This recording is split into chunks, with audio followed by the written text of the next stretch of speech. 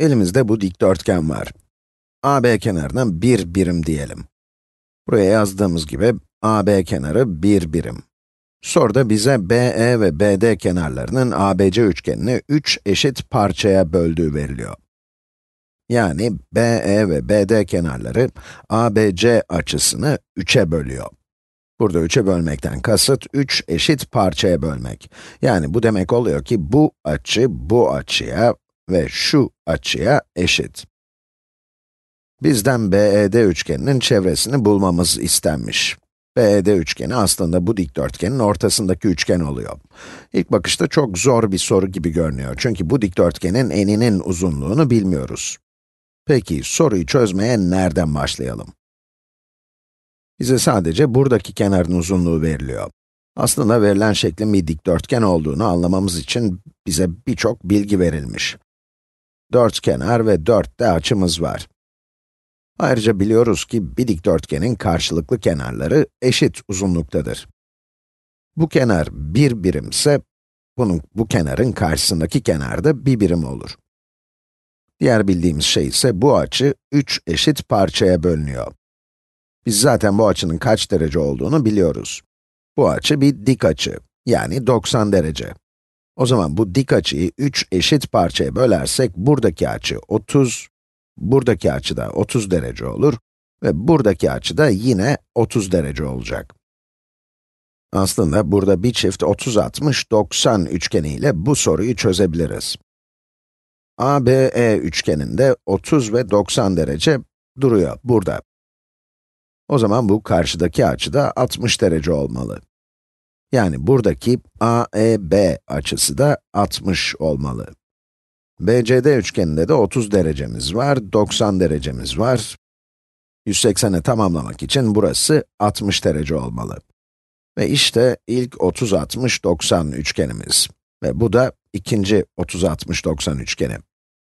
BED üçgeninin açılarını dik üçgen olmasa bile kendiniz bulabilirsiniz. 30-60-90 üçgenlerine verilenleri kullanarak, mesela üçgenin sadece bir kenarını bilsek bile diğer kenarları bulabiliyoruz. Mesela bu kısa kenarın karşısında 30 derecelik bir açı var. Bu 30 derecelik açının karşısındaki kenar 1 birimse, 60 derecenin karşısındaki kenar da bunun kök 3 katı olacak. Ve bu kök 3 bize bayağı yardımcı olacak çünkü verilen dikdörtgenimizin taban uzunluğunu böylece bulmuş olduk. Şu an sadece 30-60-90 üçgenlerine dair bilgilerle bu sonucu bulabildik. Burada kafanıza takılan herhangi bir şey varsa 30-60-90 üçgenleriyle ilgili videolarımıza bir tekrar bakın. Biliyoruz ki 30-60-90 üçgenlerinin bir kenarı bir birim cinsinden verildiğinde diğer kenarların kök 3 ve 2 birim olduğunu bulabiliyoruz. Yani bu 30 derecenin karşısındaki kenar 1 birimse, 60 derecenin karşısı bunun kök 3 katı olacak ve burada gördüğümüz hipotenüs de 2 birim olacak. Bu durumda bu uzunluk, buradaki hipotenüsün uzunluğu da 2 katı olacak. O zaman 2 çarpı 1 eşittir 2. İlginç olansa buradaki diğer üçgenle de benzer bir hesap yapabilmemiz. Buradaki fark, bir birimlik kenar 30 derecenin karşısındaki kenar değil. Bu sefer 60 derecenin karşısındaki kenar. Yani bir birim 60 derecenin karşısı. Bir daha yapalım. Eğer bu kenarı kök 3 ile çarparsak, buradaki AE kenar uzunluğunu buluruz. Hatırlayın bu kenar bir birim. Yani buradaki kenar 60 derecenin karşısında. Yani AE kenar uzunluğu 1 bölü kök 3 olacak. Bunları bulabilmemin tek sebebi bu kenar ne olursa olsun kök 3 ile çarptığımda buradaki kenar uzunluğunu elde edebiliyor olmam. Ya 60 derecenin karşısındaki kenarı almalıyım ya da 90 derecelik kenarı alırsam onu kök 3'e bölmeliyim. Böylelikle 30 dereceye karşılık gelen en kısa kenarı elde edebilirim. 60 derecenin karşısındaki kenarı kök 3'e bölerek başlayayım. Buradaki açıyı elde edeceğim. Buna göre de hipotenüs uzunluğu daima 30 derecenin karşısındaki kenar uzunluğunun iki katı olacak. Öyleyse bu kenar 30 derecenin karşısında ve hipotenüsün daima iki katı olacak.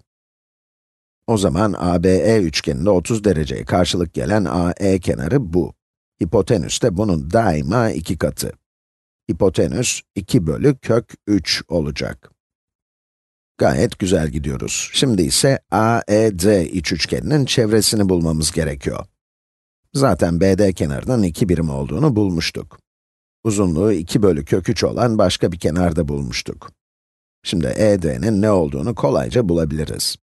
Çünkü AD kenarı BC kenarı ile aynı şekilde olacak. AD kenar uzunluğunun tamamı kök 3 olan bir dikdörtgenle uğraştığımızı biliyoruz.